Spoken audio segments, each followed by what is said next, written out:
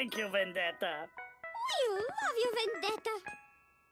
Do not make me angry.